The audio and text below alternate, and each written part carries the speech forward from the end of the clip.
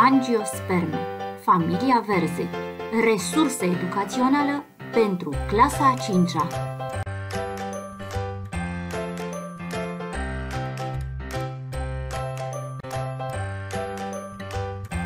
Varza este o plantă bienală, adică ciclul de viață se realizează pe parcursul a 2 ani.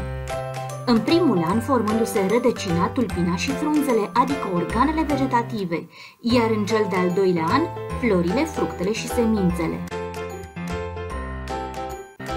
Rădăcina la varză este pivotantă. În primul an, tulpina este scurtă și groasă și poartă numele de cotor. În cazul verzei albe, frunzele în primul an sunt mari, cărnoase și acoperite cu un strat de ceară. Frunzele de la bază se îndepărtează de cotor și sunt verzi, iar restul se acoperă unele pe altele și formează căpățâna. Căpățâna poate fi considerat un mugure foarte mare. Pentru a obține flori, fructe și semințe în cel de-al doilea an, în toamnă, căpățânile de varză, cu tot cu rădăcină, se scot și se păstrează în locuri întunecoase și răcoroase, de exemplu în pivnițe. În primăvară, cu un cuțit bine ascuțit, se îndepărtează frunzele, obținându-se un contor fasonat.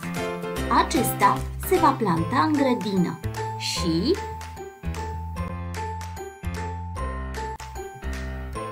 cotorul fasonat se va forma o tulpină înaltă și ramificată, cu frunze mai mari la bază și mai mici și lipsite de pețiol în vârf.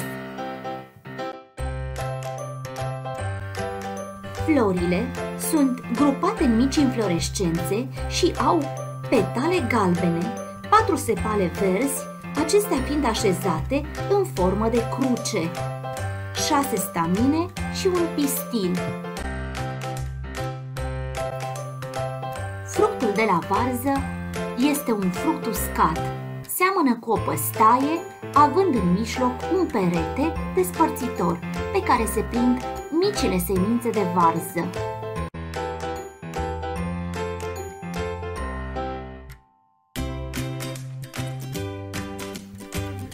Din familia verzei mai fac parte varza de Bruxelles, varza roșie, varza ornamentală, bulia, rapița, dar și multe alte plante.